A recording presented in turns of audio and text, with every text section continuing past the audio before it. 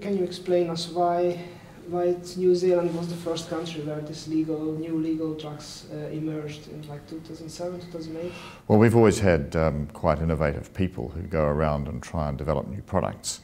And we've had, we've got one or two uh, local leaders if you like in terms of the the, um, the psychoactive substances industry. What's become apparent um, since then has been a huge level of community concern about the impact of these um, products and what was the best way of curbing demand and reducing the availability. And that's why we've developed the response that we have. What kind of drugs we are talking? Oh, they, they were the usual ones, Kronic, um, they, they were the various names, um, pineapple, ecstasy, um, you name it. They had all these exotic names and they were, um, they were always being remarketed, reformulated. And they were causing a lot of harm to young people in particular and a lot of concern to communities about their prevalence and their availability. So we had to think quite long and hard about what our response was going to be to uh, regulate the industry. And uh, we've, we've taken a, a really a two-stage approach. Um, between 2011 and now, we've acted on the basis of banning particular substances as they, be, they become known to us. Uh, we've banned something in the order of 33 different substances and over 50 products in that time. We can ban them for up to a year and we can extend the ban for a further year. Um, but beyond that, we can't go. So in August this year, the first of the bans start to expire. And by then, we will have in place law which turns the whole thing on its head. It says that Uh, for any product to be sold or available in New Zealand, it first will have to be proven to be safe in the same way that a new medicine coming onto the market will have to be proven to be safe. So that will put the onus of responsibility on the manufacturers and the suppliers to prove that what they are producing is safe. And we think what that will do is two things. Firstly, no one's going to be interested in buying a safe product because you won't get the, the, the sensation. And secondly, the process will be sufficiently costly because they will pay all the costs and sufficiently long to deter a number of manufacturers and suppliers from proceeding. How do you assess the risks of, of, of these substances or how do they? At the moment, under the present law, which simply says we can ban them, it's a very open-ended assessment. It ultimately comes down to my decision as to whether I think they are dangerous or not. And that could be a dangerous situation to be in. Under the new law, there will be an independent expert advisory committee established and an expert regulatory regime put in place which will determine the criteria against which uh, that assessment will be made. Who are the producers of these drugs? Like, are there companies or private persons? Uh, there, there, are a number of companies that are involved. There's one major company, but we have a number of people around the fringes.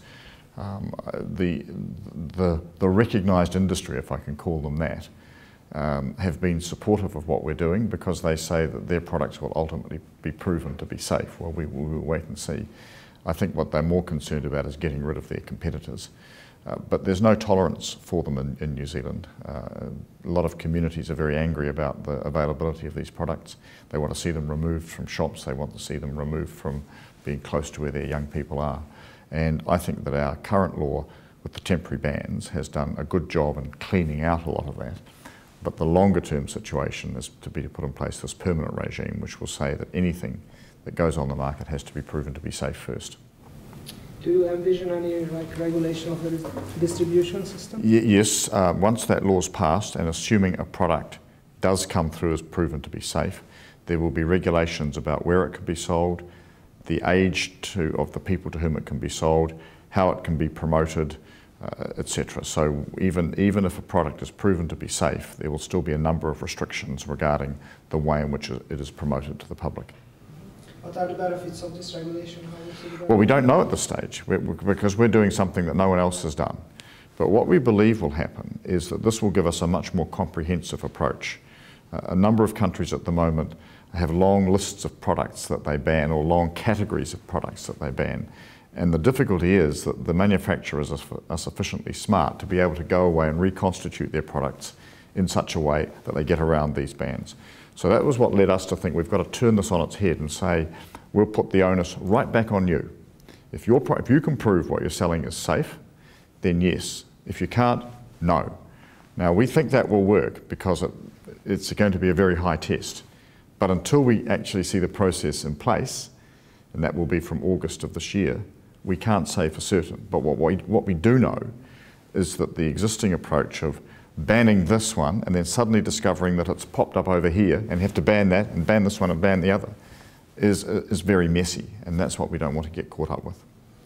So these are the regulatory measures, and what about public health and social measures? Well, pub public health is obviously a critical component in this. We've had a lot of reports from our National Poison Centre about uh, uh, admissions to emergency rooms and public hospitals uh, from the use of particular products. There's a huge amount of community concern, particularly among parents. Interestingly enough, in smaller towns rather than in the major cities, uh, but obviously very strong concern. Uh, the police have been involved uh, because we've worked very closely with them.